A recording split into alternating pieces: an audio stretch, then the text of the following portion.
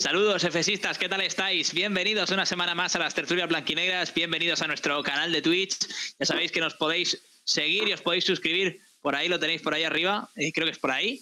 Así que darle a ese botoncito que nos viene muy bien. Sabéis que con Amazon Prime es totalmente gratuito y nos ayudáis a seguir haciendo contenido como este. Por supuesto, un saludo también a la gente de Radio Unión, ya sabéis, en la 107.9 de la FM, los compañeros de la radio de la Unión que están con nosotros desde la temporada pasada y que siguen eh, animándonos y siguen apoyándonos durante esta campaña 2020-2021 con el Fútbol Club Cartagena en la segunda división del fútbol profesional. Y que decir tiene que tenemos que mandar un saludo también a todos nuestros patrocinadores y a toda esa peña que estáis por ahí por el chat, que ya sois un montón y que nos encanta. ¿eh? Decía por ahí José que llevo los auriculares oficiales del Atalanta.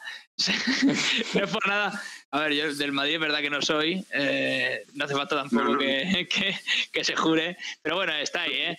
Eh, ¿Qué os tenía que decir? Bueno, la verdad que yo creo que el futbolista que traemos hoy a la tertulia blanquinegra no tiene, no necesita presentación. 32 años, si no me equivoco, ex de pues, equipos tan importantes como Valladolid, Celta de Vigo, Eibar, Real Sociedad, o Club Atlético Osasuna, llegó en este mercado de invierno al Cartagena y yo creo que desde el primer partido, desde el momento en el que salió eh, a jugar con la camiseta del equipo blanquinegro, se ganó el cariño de la afición, sobre todo por el enorme primer encuentro que, disputó en ese partido contra el Sporting de Gijón y hoy tenemos la suerte de tenerlo con nosotros. Raúl Navas, ¿qué tal? Buenas noches. Hola, buenas noches. Muchas gracias por esas palabras. Primero de todo, mm, yo creo que antes de ponernos aquí un poco con la coña, es mm, bastante importante preguntarte por, por Alberto de la Bella, ¿no? Un futbolista con el que has coincidido, que yo creo que además es importante, bueno, sabemos que es importante en el vestuario y que ha sufrido una lesión grave. Y yo no sé mm, si querrías decirle algo desde, desde aquí, este micrófono de la tertulia blanquinegra. Bueno, al final lo que le diga ya lo sabe porque somos vecinos, damos pared con pared y, y ya sabe que aquí me va a tener disponible para lo que haga falta, tanto él como su familia. Somos amigos desde bastante, hace bastante tiempo porque coincidimos en el Sevilla Atlético, ya ha llovido. Y bueno, después la Real también, y bueno, ya nos hicimos bastante amigos. Y ni que decir tiene que aquí me tiene para lo que sea, de taxista si hay que llevarlo al hospital, a la rehabilitación o lo que sea. Pedro, ¿qué tal? Bienvenido. Hola Dani, ¿qué tal? Encantado de estar por aquí una noche más. Guti, muy buenas. Buenas noches, Dani, y un placer estar como siempre por aquí. Y hoy tenemos con nosotros a Javi Minidilles. ¿Qué tal? ¿Cómo estás, Javi? Hola, buenas noches. Encantado de estar por primera vez aquí en una tertulia entrevistando a un futbolista. Raúl, te preguntaban por ahí si el acento, tu acento es de Lleida, si es gallego. que, que, la gente del chat ya está, ya está troleando desde el primer momento. ¿eh? Sí, que te queríamos, sí que te queríamos preguntar por el, bueno, por cómo está el equipo después de esa derrota con Las Palmas, ¿no? Parecía que venía de una buena dinámica, que había encontrado eh, unas sensaciones notables y es verdad que en ese encuentro contra Las Palmas eh, todo se vino abajo y sobre todo en esos primeros 20 minutos cuando el Cartagena realmente ni compitió, ¿no? En el, estadio insular. ¿Cómo ha salido el equipo de, ese bache anímico y, y con qué mentalidad se afronta este partido ya, que es prácticamente mañana, ¿no? El viernes contra el, contra el Lega.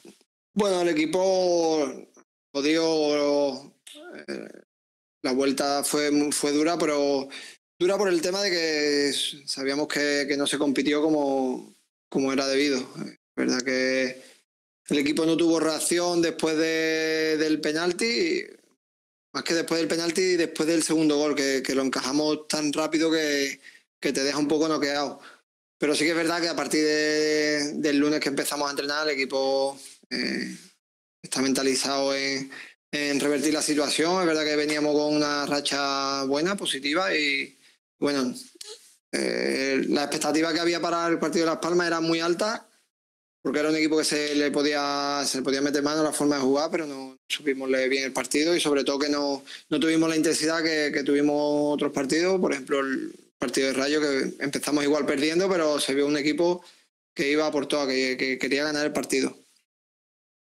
Eh, con Raúl, hablando del partido del, sábado, eh, ¿no tuviste en, el propio campo la sensación que la primera parte del equipo era muy largo, que no, estabais organizados en la presión? Eh, no, sé si no salió lo que habíais trabajado o, Las Palmas metía mucha gente ahí entre líneas, entre las dos líneas y, os complicó. ¿Qué, conclusiones habéis sacado?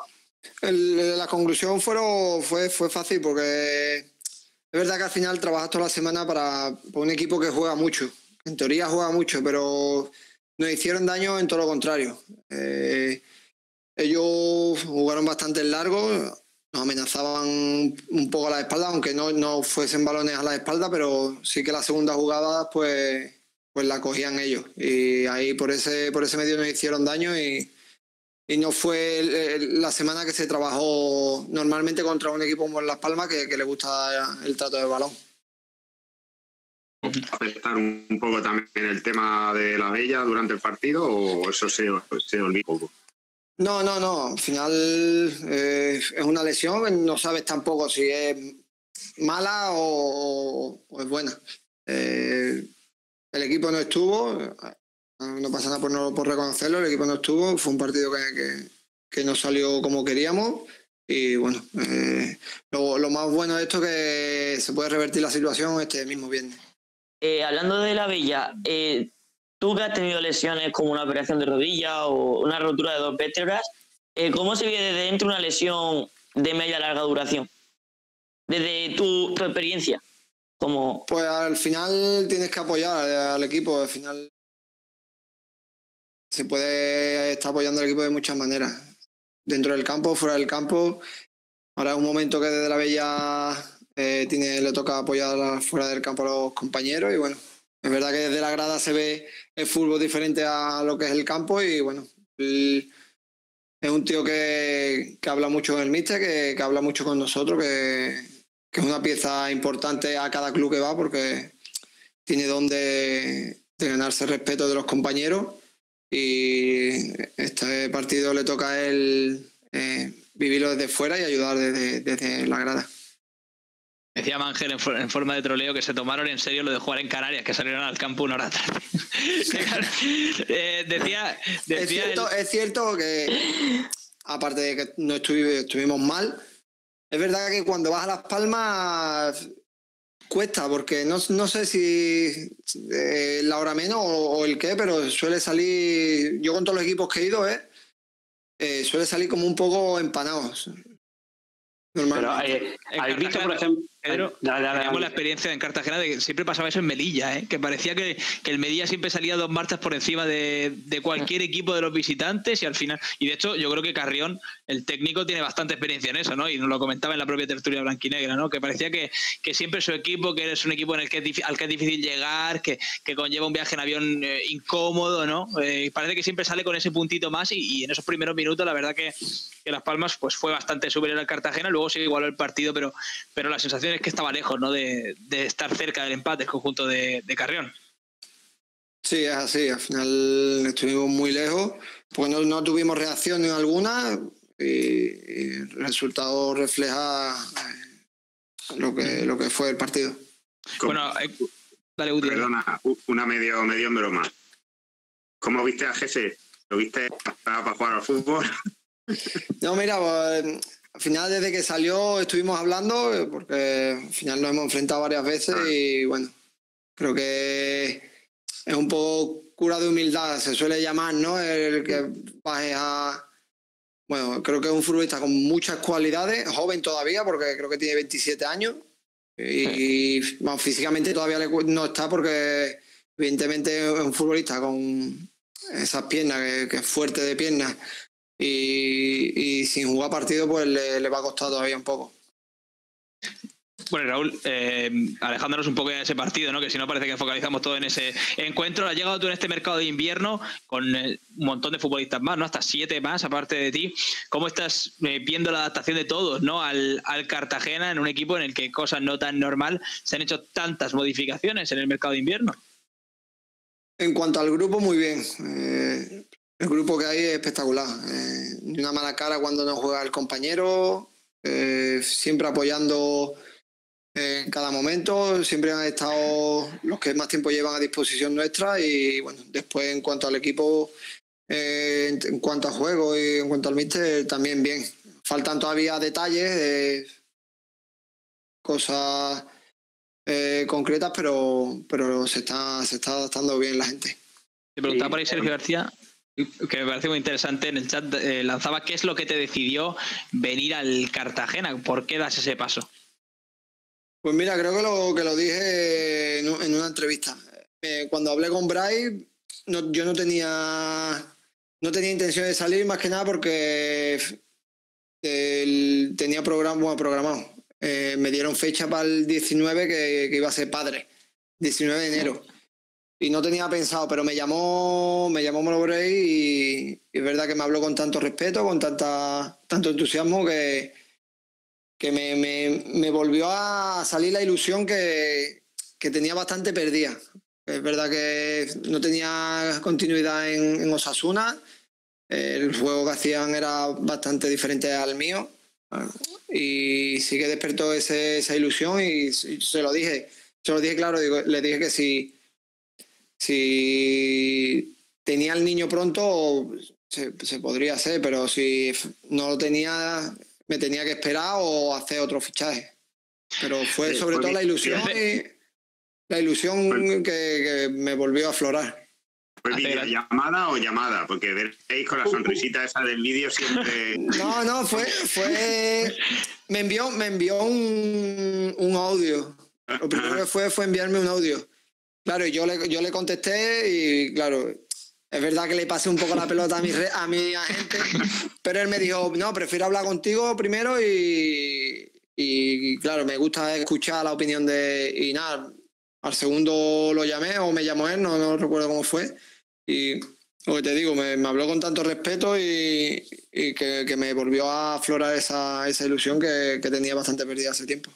Que cuánta culpa tuvo de la Bella, también, a que hemos hablado antes de él, y que has dicho que es vecino prácticamente puerta por puerta, que has cumplido con él. Supongo que esa llamada de Alberto contándote, mira, tengo aquí casi que cerca, está la playa. No, no, los compañeros No, muy es verdad. bien, aquí se vive bien, supongo que eso también ayuda, ¿no? Sí, sí, ayudó muchísimo. Aparte de, de eso que estuvimos, que hemos estado hablando, él ayudó también. Yo creo que fue entre los dos. Entre los dos fue, pero sí que es verdad que, que prácticamente hablábamos todos los días. Antoñito también me, me llamó porque nos conocemos y sabes ya con la coña de que te voy buscando casa. Y es verdad que antes, antes de cuando fir- antes de firmar aquí ya tenía prácticamente mirado todo. Casa, el colegio para niños. Así que adelanté bastante. Está por ahí la gente en el chat poniendo el, el emoticono que tenemos de la sonrisa de Brace. Ahí la gente que está suscrita al canal de Pesista estáis poniéndola ahí a saco. Y es verdad, ¿eh? decía, decía por ahí eh, que así, que si te ha mandado muchos emoticonos de abracitos por WhatsApp para, para hacerte venir. Decía por ahí que es un, que es un crack. Y, y también, bueno, yo quería, quería preguntarte acerca de- del equipo en sí y sobre todo de, de la sensación. Bueno, hay una pregunta muy directa y muy clara, ¿no? ¿Tú crees que este equipo eh, es uno de los cuatro peores de la segunda división. Evidentemente, si, tu- si, lo, hubiera- no habría venido, ¿no? Pero ¿crees que es eh, realmente un equipo capacitado para salir de ahí? Nosotros lo debatimos mucho en estas tertulias, ¿no? Ese, tenemos muchas ah, conversaciones, tanto aquí como fuera, y, nosotros queremos hacerte también esa pregunta, claro. A ver, por, por jugadores, el equipo está muy capacitado. Hay que, hay que engranar los eslabones y, y que, que el equipo sea una unión y que esté el equipo, sobre todo anímicamente. Eh, el equipo cuando se ve jornadas ahí abajo, pues es verdad que anímicamente te meten un gol y dices tú, "Fue otra vez. Como por ejemplo en Las Palmas. El gol del penalti fue una tontería, porque al final, si no haces el penalti, igual el partido no es, no es lo, que, lo que se vio. Y dices, joder, otra vez, otra, otro varapalo. Y bueno, lo primero que hay que ser optimista es contagiarse de, de la gente que es optimista y, y el equipo está capacitado para sacar la categoría sobrado. Y yo creo que si eh, cogemos dos victorias, cogemos un poco de aire, se va a ver otro equipo, otros jugadores más sueltos, queriendo más la pelota y bueno, eh, siendo un poco más la, versión buena de cada jugador. Eh, Pero, Raúl, perdona, ¿verdad Raúl. que estás diciendo? Sí. Dale, Guti. Una pregunta rápida. El, el domingo en, en algunos grupos se hablaba de que daba un poco de miedo, respeto, que los nuevos que habéis venido, los ocho, no pudieseis coger los vicios de lo, de lo que ya había, porque al final vosotros sois todos nuevos y, y no venís con la, con la tara de, de esas derrotas consecutivas que te hacen temer, sino que pues es meter un gol, pues hay que remontar. Eh, al final quizás sois vosotros los que tenéis que intentar motivar a los compañeros que ya están y que lo están, lo están pasando mal para que esto no siga sucediendo, ¿no? Sí, claro, al final nosotros venimos con otro, otros aires y, y claro que tenemos que contagiar de, de optimismo, de esperanza a, a los que peor estén. Al final, eh, la gente piensa que el futbolista no, no siente, pero al final lo padecemos igual o, o más que porque no, no, queremos perder, no queremos fallar un balón, no queremos fallar un, un tiro a puerta. Pero bueno, al final yo creo que los que venimos eh, somos de mentalidad fuerte, pues al final hemos vivido en los equipos que hemos estado, que no hemos jugado, pues al final te, te curte un poco en ese sentido. Y, suena desde luego. Y creo que, claro, esa... y creo que al final se irá sumando gente al barco de, del optimismo y de, hacer las cosas bien, que como digo, eh, sacar dos victorias y verte con un poquito de aire va a sacar la, mejor versión de, cada uno, porque al final no es lo mismo jugar con el culo apretado que, cualquier fallo eh, puede ser fatídico, que, si fallas pues no, no pase nada. Yo creo que también es un poco la filosofía del, del, partido contra el Rayo Vallecano, ¿no? Que cuando parecía que todo se ponía eh, en contra, pues el Cartagena fue capaz de, de, plantar cara y de remontar incluso, ¿no? Al conjunto de Vallecas. Eh, para mí una sensación muy distinta, ¿no? La que pasó en Las Palmas, por diversas circunstancias, ¿no? Pero al final eh, creo que, que, eso ha sido muy importante. Te preguntaban por ahí, eh, decía José Pastor, mañana cogen el entrenamiento a Forniés y dale amor, que se tiene que salir. es verdad, ahora tiene una responsabilidad importante el, el ilicitano. Eh, ¿Cómo lo ves a, a, David Forniés? Bien, muy bien, tiene muy buenas cualidades, está rápido y bueno, al final tiene que suplir a Alberto, que sí que es verdad que es más experimentado, pero lo puede hacer igual o mejor que, que Alberto final lo de darle amor no sé, porque es un tío guapete, a ver si me va a gustar, pero, pero sí que le doy un poco de cariño. y te pregunta por ahí, Kerry, ¿cómo es eso de trabajar al lado con un sicario? Ah, es buen tío. Al final se dice sicario, pero es muy buen tío, muy buen tío. Un tío que va a las disputas fuertes, pero sin maldad y, y bueno. Al final es eh, Raúl, tío. ¿tú cómo te estás sintiendo en el terreno de juego y que si hay este Raúl Navas es el que vamos a poder ver el resto de temporada o que si hay algo más que todavía no ha demostrado en el campo, pero que con el paso del tiempo puede ir adquiriendo. Sí, al final no estoy en mi mejor, mi mejor estado físico ni, ni al final táctico también, pues hay que engranar lo que he dicho. Tenemos que, que engranar eso es, eso es, yo con el lateral derecho, por ejemplo, con Tony en algunas situaciones pues no, no se hacen las cosas bien. Eh, de la línea, pues creo que todavía me queda mucho por, por, mejorar. Me gusta seguir aprendiendo día a día y eh, se verá una mejor versión. Cositas que, que saber por ahí. Te decía también que Raúl, eh, Rubén Castro se ríe alguna vez. Sí, sí, sí. es verdad que es un tío eh, muy tímido, muy tímido. Yo no me lo esperaba, pues me esperaba al final yo, oye, con tanta carrera, pues que fuese tan tímido, pero así que al final eh, se divierte, al final las coñas que hay, pues claro que se ríe. ¿Y has venido con el acento ese que tienes, has venido a quitarle el puesto a jurado o mantienes tu... no, no. jurado es casa aparte. no, hombre, idético, final, ¿no? Casa aparte idético.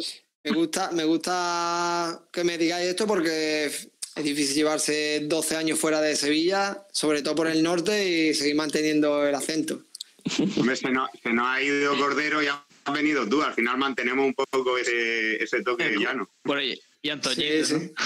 Y Antoñito. ¿Qué tal? Antoñita es. Em, te decía por ahí muchísimas cosas. Albertuche te pregunta, ¿cómo ves al equipo físicamente? Yo creo que todavía, lo que hablamos antes, venimos jugadores de, de, de no contar prácticamente en los clubes que estamos y, y eso se nota, aunque entrenes tres horas diarias eh, tú, por tu cuenta. Se nota en el campo y todavía creo que, que nos cuesta todavía un poco llegar a ciertos balones, hacer metros alta intensidad, pues yo creo que iremos cogiendo todavía un poco de tono. Raúl, ¿es más fácil, por ejemplo, en ese caso para Dasco y para ti, por la posición de centrales, que a lo mejor a un De Blasi o a un jugador de, de, medio campo, de banda que tiene que, o Antoñito, que tiene que hacer más recorridos o más repeticiones físicamente, ¿les puede costar más o puede notar más la inactividad o crees que no, que a todos por igual?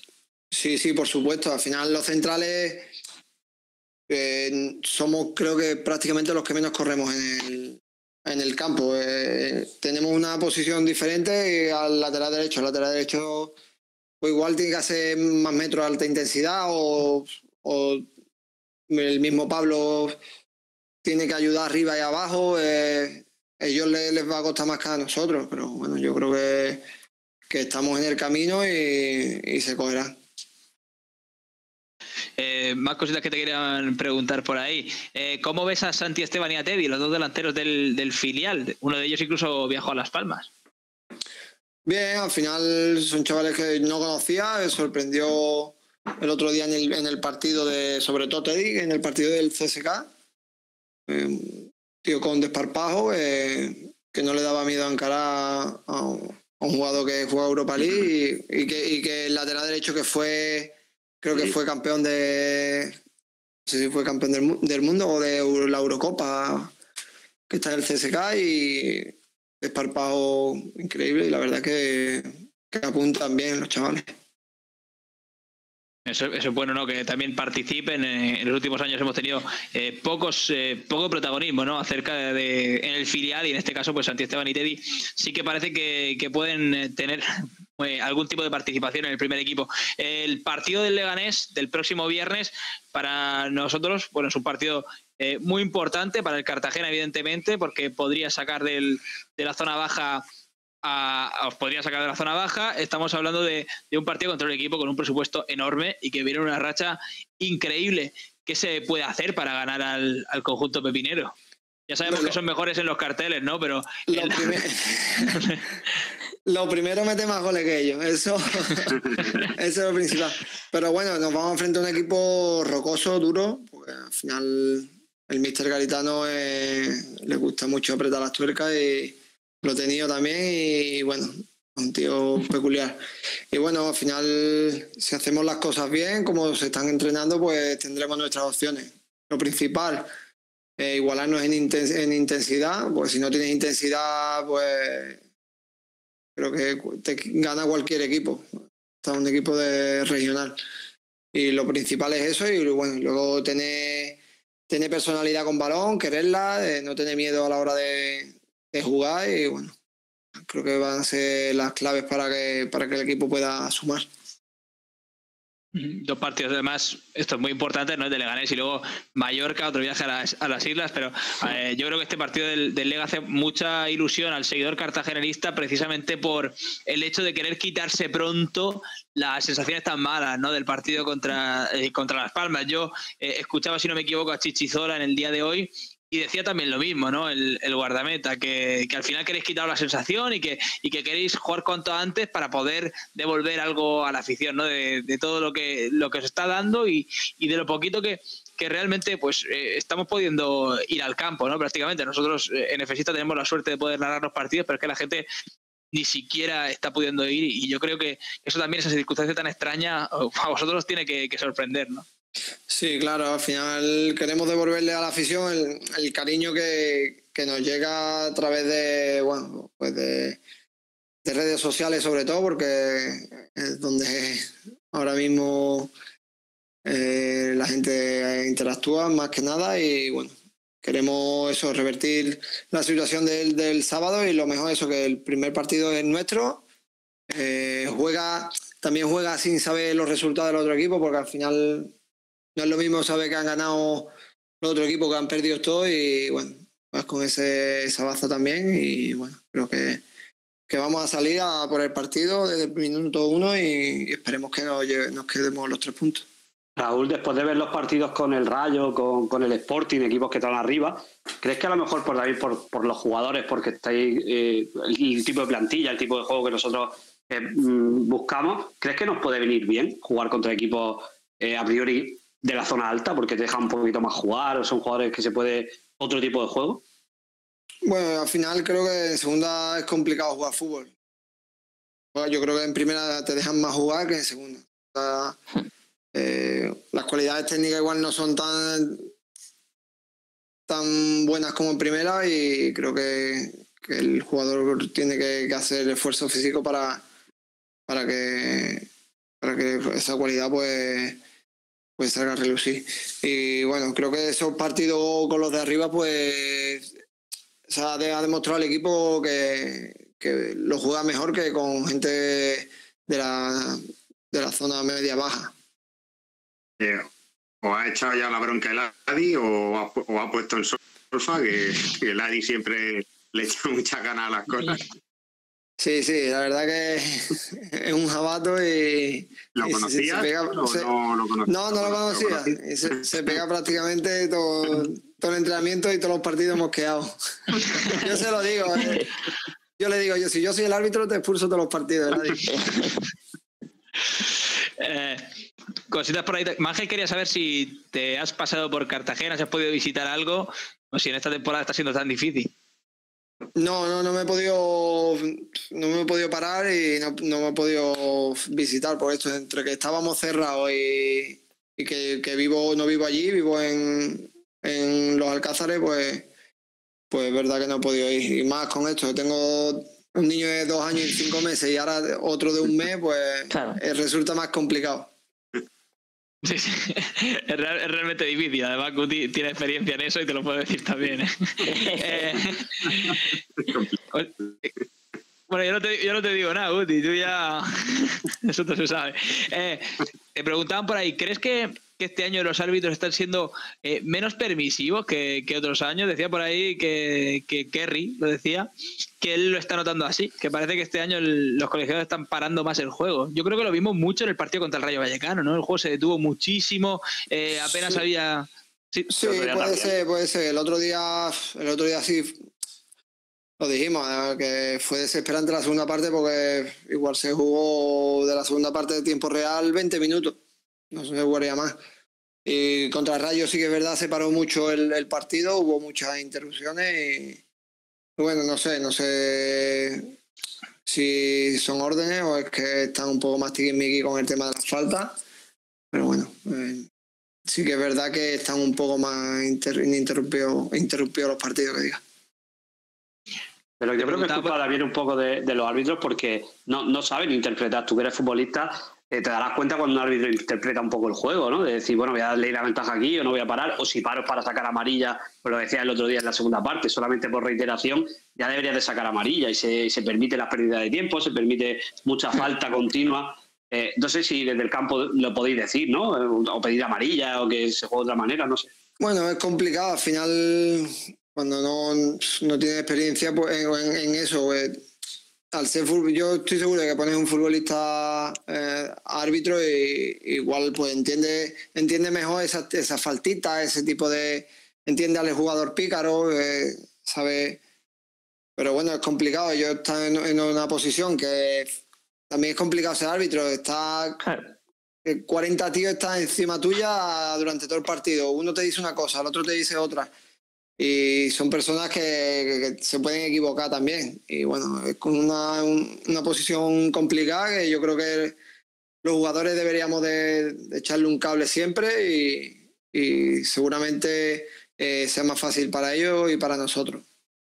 Pues es que al final a mí me da mucho coraje que se pidan las cosas que no son.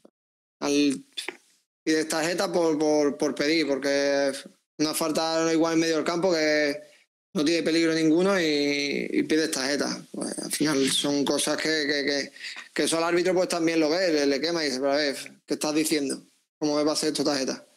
Pues, al final yo creo que si entre todos les ayudamos, pues su labor va a ser más fácil y bueno, le están poniendo herramientas para, para, que, para que sea más fácil también.